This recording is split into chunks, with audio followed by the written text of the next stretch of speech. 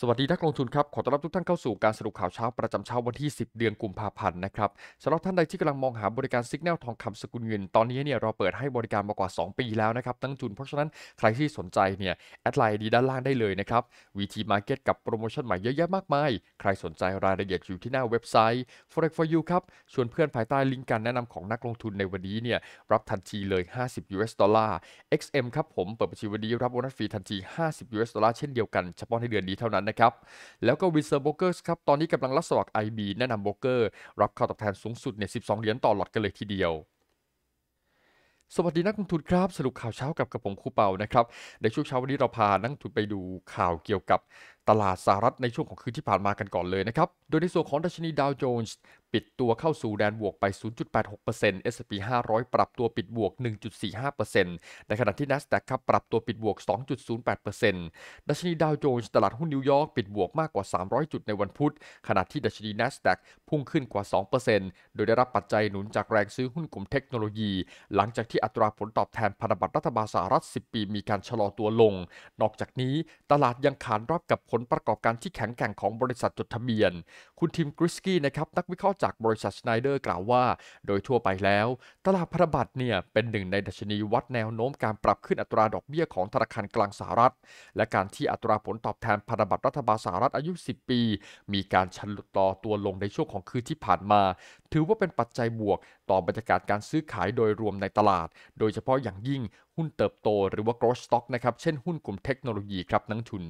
ทีนี้ครับก็เหลือแต่ตัวเลขเศรษฐกิจในคืนวันนี้แล้วนะครับ ที่จะมีการประกาศในช่วงเวลา 20นาฬิกา30นาที ซึ่งก็คือตัวเลขของดัชนีราคาผู้บริโภคหรือว่า CPI ซึ่งนับว่าเป็นมาตราวัดเงินเฟ้อ จากการใช้จ่ายของผู้บริโภคเป็นสำคัญประจำเดือนมกราคมครับทุกท่าน2ทุ่มครึ่งนะอย่าพลาดนะครับตัวนี้สำคัญจริง ๆ ต่อมาครับเราไปดูข่าวกันที่ราคาน้ำมันดิบครับคือที่ผ่านมาก็มีบางจังหวะที่เกิดการปรับตัวแข็งค่าขึ้นไปทดสอบระดับแนวต้านสำคัญทางจิตวิทยาที่ระดับ 90 US ดอลลาร์ต่อบาร์เรลนะครับ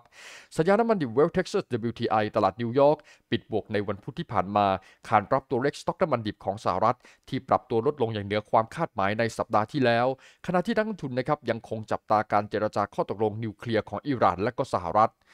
สัญญาน้ำมันดิบ WTI ดีดตัวขึ้น หลังจากสำนักงานสารสนเทศด้านพลังงานของสหรัฐหรือว่า EIA เปิดเผยว่า สต็อกน้ำมันดิบสหรัฐลดลง 4.8 ล้านบาร์เรลในสัปดาห์ที่แล้ว สวนทางกับที่นักวิเคราะห์คาดการณ์ว่าจะเพิ่มขึ้น 1 0 0 0 0 0บาร์เรล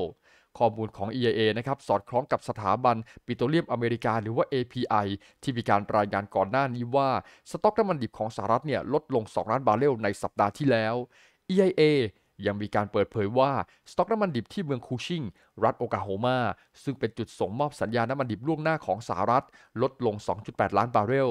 ส่วนสต็อกน้ำมันเบนซิน ลดลง 1.6 ล้านบาร์เรล ส่วนทางกับที่นักวิเคราะห์คาดการณ์ว่าจะเพิ่มขึ้น 1.4 ล้านบาร์เรล แล้วก็สต็อกน้ำมันกลั่นนะครับ ซึ่งรวมไปถึง heating oil และก็น้ำมันดีเซล ลดลง9แสนบาร์เรลในสัปดาห์ที่แล้ว ขณะที่นักวิเคราะห์คาดว่าจะลดลงเพียงแค่6แสนบาร์เรลครับทุกท่าน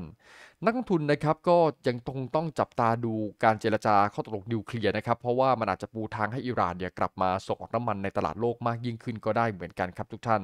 จับตาดูกันต่อไปนะครับ ปิดท้ายกันที่ข่าวสารของราคาทองคำนะครับ เมื่อคืนนี้ก็ถือว่า